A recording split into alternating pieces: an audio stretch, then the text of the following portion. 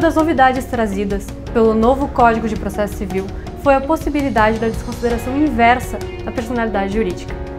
O Instituto consiste na chance de invasão ao patrimônio da empresa por dívidas contraídas por um de seus sócios. Conforme o artigo 183, parágrafo 2 do Código de Processo Civil, a desconsideração inversa ocorre quando o sócio devedor transfere os bens da empresa, sobre a qual tem controle total, esvaziando o seu patrimônio pessoal.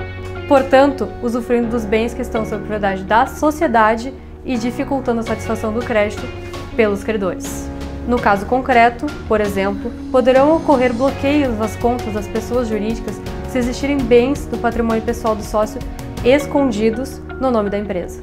Logo, através do direito dos credores de invadirem o patrimônio da sociedade, a inversão da desconsideração impede o desvio de bem pelo sócio e a fraude contra terceiros.